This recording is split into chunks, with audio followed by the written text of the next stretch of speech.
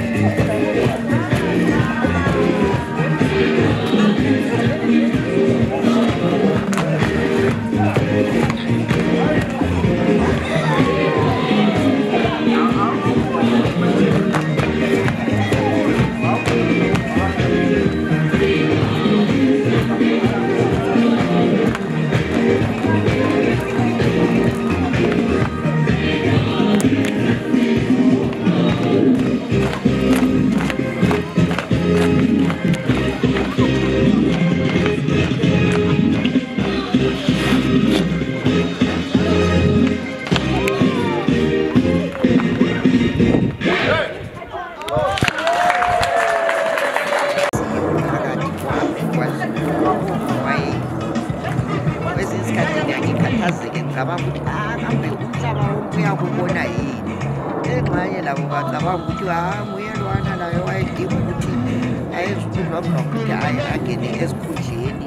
lanxa kusonakala lanxa kunjani umuntu adinga ukuthi ilihlo likhangele kuphela esikhundleni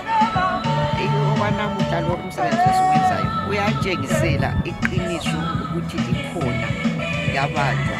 ebantwini ukuthi ngumuntu owayefaka phambili i-wellbeing yezimbabwe nabantu bakubakulelezi ikilithileyi lephisi ekhulunywayo waba yinto wavela wayitsho yikuthi avele nxa uphepha bamba na akulalutho ongalwenza sithathe namuhla sithi bebhayibhiliji lama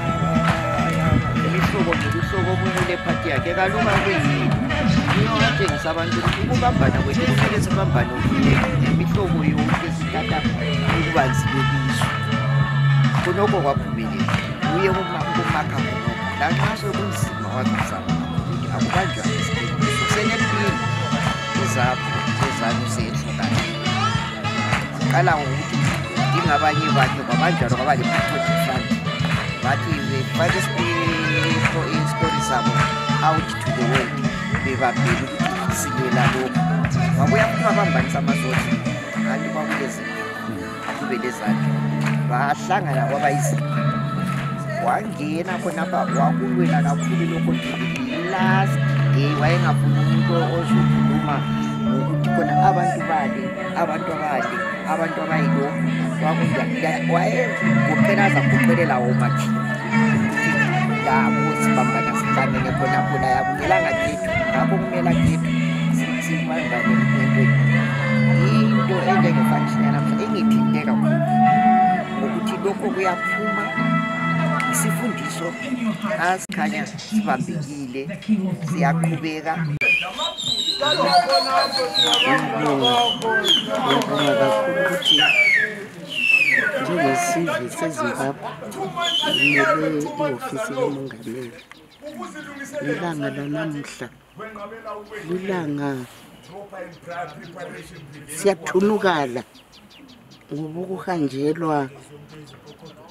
ngabantu abanjengaye ubaba ujoshua mqaboko yongolonkomo ngempela it was a dark cloud phakathi kwelizwe lezimbabwe ikakhulu nxa sikhumbula imisebenzi yakhe sikhumbula ukuthi ube ngumuntu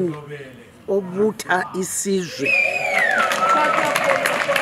engafuni msindo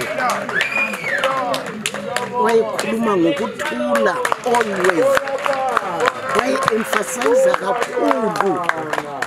ukuthi nxa ngaliphambanisene fundani ukuhlala phansi likhulumisane ngiyakhumbula ngeunithi ekhuluma ukuthi hayi sengikhulumisane lo mnakwethu ukuthi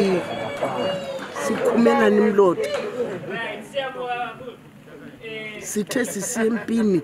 silwela singena phakathi kwempi sasidinga ukukhulula ilizwe lezimbabwe